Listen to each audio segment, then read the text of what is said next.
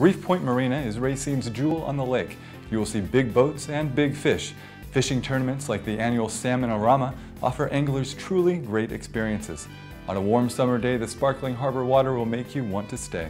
Bring your friends, share this video, and share the fun.